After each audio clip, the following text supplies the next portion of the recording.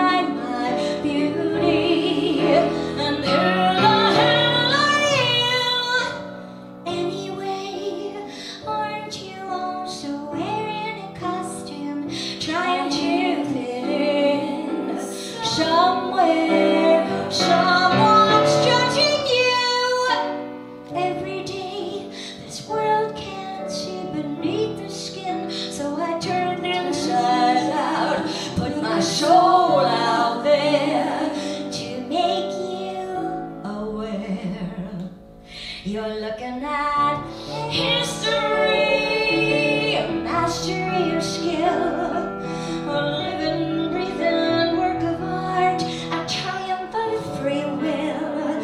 I'm a rarity you won't find in a gallery.